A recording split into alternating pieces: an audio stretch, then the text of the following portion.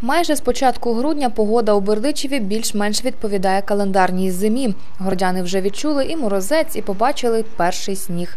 За два тижні новий рік, тож додати усім святкового настрою готуються ялинки на центральній площі. Але кажуть бердичівляни, великої радості від приходу зими поки що не відчувають. От якби снігу побільше. Якщо вона є зима, така пухната, красива, то я її люблю. А якщо вона така, як сьогодні, то не дуже. Ще не показала себе, бо тільки починається зима. Знайшлись серед опитаних і такі, які зиму взагалі не люблять через її крайнощі то мороз, то сльота. Е, Я люблю літо. От. Ціле літо валятись на пляжу. От, купатись. Ну, ну, поїхати куди-небудь.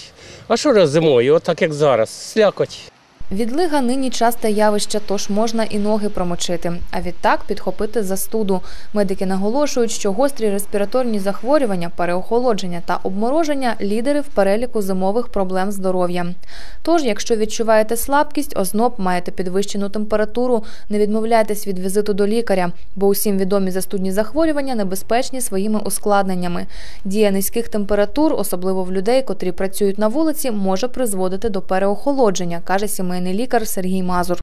Це озноб, це тремтіння рук, це коли появляється е, біль в пальцях рук.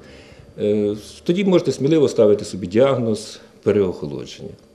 Як з ним боротися? Якщо це переохолодження легкого ступеня, досить е, просто. Потрібно або тепло вдягнутися, або перейти в тепле приміщення, випити гарячого солодкого чаю чи кави Обмороження ще одна зимова проблема. Бувають чотирьох ступенів важкості, розповідає лікар. При найлегшому бліднішають і болять частини тіла, розташовані найдалі від серця кисті, стопи, вуха, ніс.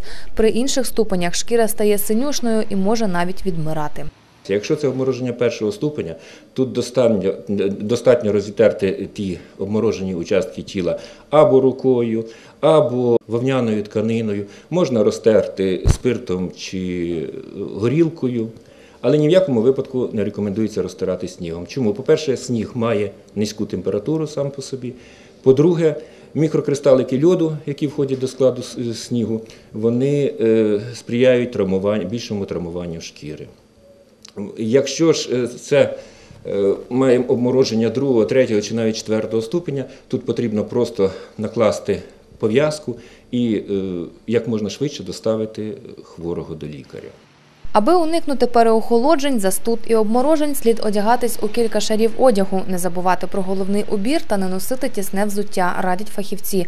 Також не варто мати на собі багато прикрас. Вони притягують холод, персні ще й порушують кровообіг. Дівчатам і жінкам взагалі краще дбати про тепло, а не свою красу і заховати ніжки у брюки до більш теплого сезону. Втім, бердичівляни мають і свої секрети безпечної зими. Не треба вживати алкоголь. Це по-перше. О, бо замерзають в основному люди і від того, що стан такий. А ну, у нас не така зима, щоб, допустимо, вже так берегтися і укутуватися. Повинна бути футболочка. За футболочкою повинно бути декілька речей. Ковтинка. За ковтинкою ще одна ковтинка, тоді повинен бути верхній одяг. Тепліше одіваюсь. Ну, от. Можна інстаграм потягнути. Для зігріву? А ну, а для чого ж ще? То кажуть, що ж не можна. А, це хто не розуміє. Не болею. О, а що ви що спеціально для цього робите? Тоді просто я вирос з села. А в селе, знаете, все, все работали э, везде и, и в Галиком. И закалялись всегда.